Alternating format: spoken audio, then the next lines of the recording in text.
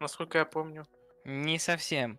Когда произошло слияние киберпространства и реальности во время нападения на Магнифик, им было похуй на этот оберег, потому что в их пространстве он не существовал.